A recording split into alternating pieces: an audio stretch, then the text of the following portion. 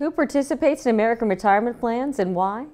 ICI has a long track record of expertise in this area, led by one of our economists, Pete Brady. What do you see as some of the key findings in the latest report? Among workers who have both the desire and the means to save for retirement, the vast majority, 78%, participate in a plan either directly or through a spouse. So tell me how you arrive at the 78% number. Well, we start with all workers aged 26 to 64, and what we find is 64% either participate in a retirement plan where they work or have a spouse who does. If we exclude from the analysis the very lowest income, uh, those who have income of less than 20,000 per person, that rate goes up to 72%. Now, these workers, the very lowest income workers, may rationally choose not to save for retirement because Social Security benefits alone will replace a very high share of their earnings.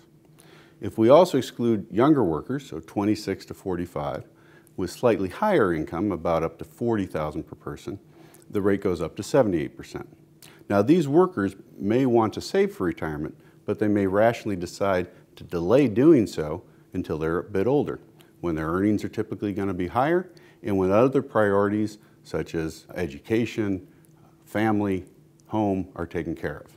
It certainly does seem logical to think that as people have their income increase, have their, their age increase as they get older, that they would think more seriously about retirement savings. And you see that in your data.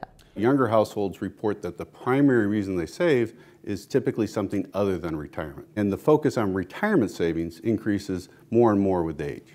And why is the finding that participation increases with income and age so important? Public policy debates often focus on the share of workers who are participating in a retirement plan at a single point in time. But this understates the importance of employer plans for workers.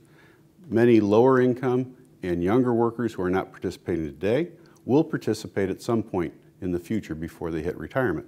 And the few who hit retirement having not participated, some of those will actually have a spouse who has participated.